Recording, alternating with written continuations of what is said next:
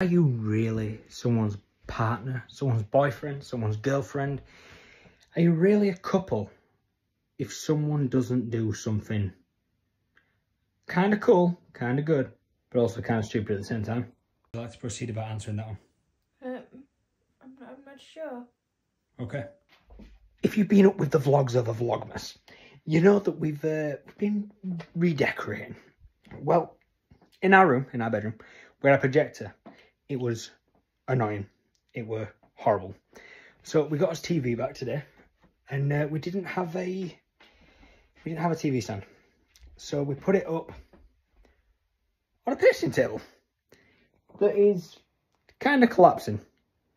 If we wake up with a TV tomorrow, great success.